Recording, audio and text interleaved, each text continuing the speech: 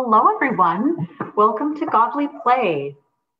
So today's story is called The 10 Best Ways or The 10 Commandments. Before we begin our story, I hope you are nice and cozy. And if you're not, you can pause the video and grab your favorite stuffed animal or blanket or both, and then come back and press play and we'll start. Let's begin in prayer. Dear Heavenly Father, thank you for everyone that's gathered here, and please be with us as we learn about the 10 best ways. In Jesus' name, amen. Okay, so I'm going to move my computer so you can see all the fun props we have for today's story.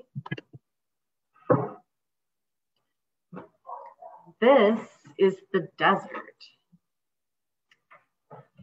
Now, the desert can be a very dangerous place because the desert is very, very hot during the day and it's very extremely cold at night. So people have to wear a lot of layers to stay warm at night, but then they also have to wear layers to protect themselves from getting burned from the sun. Also, there is no food or water in the desert sometimes the wind blows and it can change the shape of the sand. So it's very easy to get lost. Now, our story begins with the people of Egypt. They had just gone through water into freedom. And now they found themselves in the desert. Moses and the people of Egypt now, they were very, very excited because they finally were free. So they were singing and they were dancing. Miriam led the dancing. And they were just so excited to be free. They could go anywhere. And they were making their way across the desert. And before too long, people started complaining too hot. I'm tired. I'm bored. Are we there yet? I'm hungry. I'm thirsty. You can imagine. Well, they kept following Moses and eventually they came to a mountain. This is Mount Sinai. And when they got there, everybody was afraid to go near the mountain because there were a lot of fires and smoke on the mountain. That is everyone except Moses.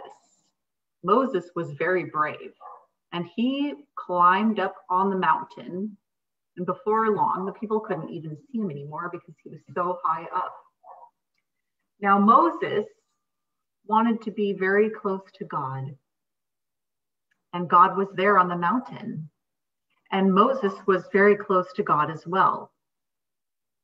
And he knew what God wanted him to do. And that was to write the 10 best ways on tablets, which were rocks that he found up at the top of the mountain. So he did as God asked, and he wrote down the 10 best ways, one on each tablet. And then he came back down the mountain to share with the people. And when he got to the bottom, they were very relieved that he came back and he said, I have something to show you. And the people gathered around to hear and see. And Moses said, God shared with me the 10 best ways, and he wants me to share with you. And so the people listened. So there was really three categories to the 10 best ways. And let's see, I think I'm gonna move this up there. I wanna make sure that you can see all of the props. So the first category was love God.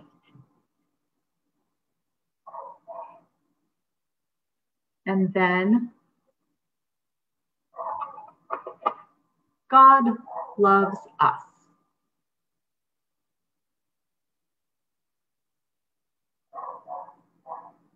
And then love people.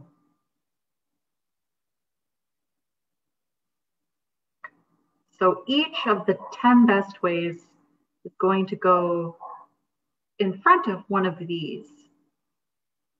So the first one is don't serve other gods.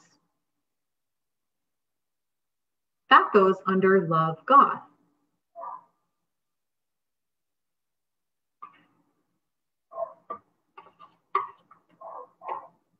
And other gods might be, I don't know, jewelry or money or boats or cars, just things that aren't God. The next one is make no idols to worship.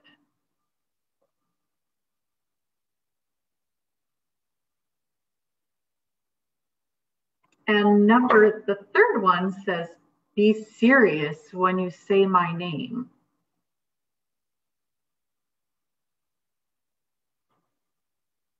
The next one says, keep the Sabbath holy.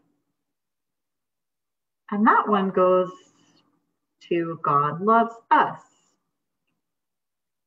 He wants us to take a special day just to be close to Him.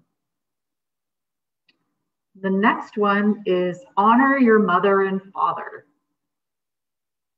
And that goes under love people because your parents are people too. Number six, don't kill. That also goes under love people. And then it says, don't break your marriage.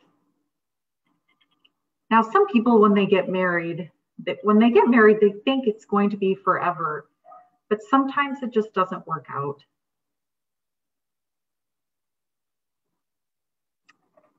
Number eight says, don't steal.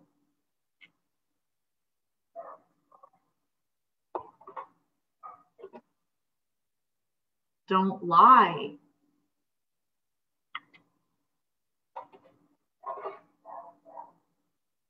Don't even want what others have.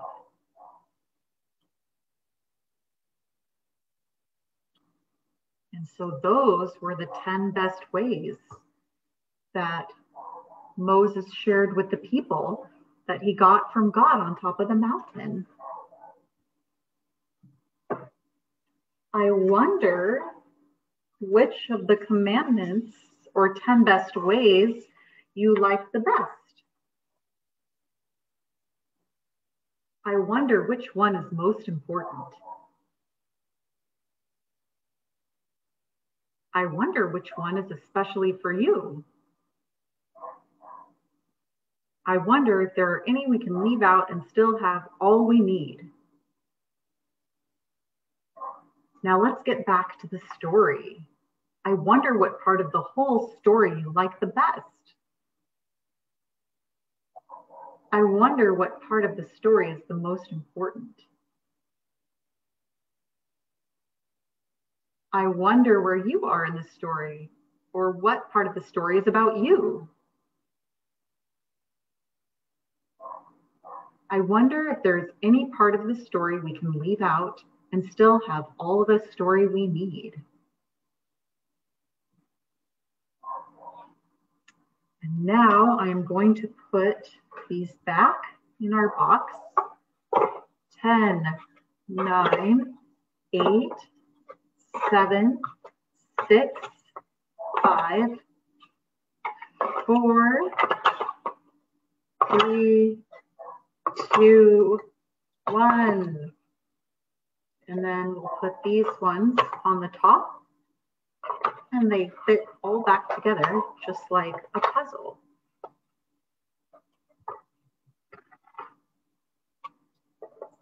And then we're going to put these back on our shelf and fold up our desert.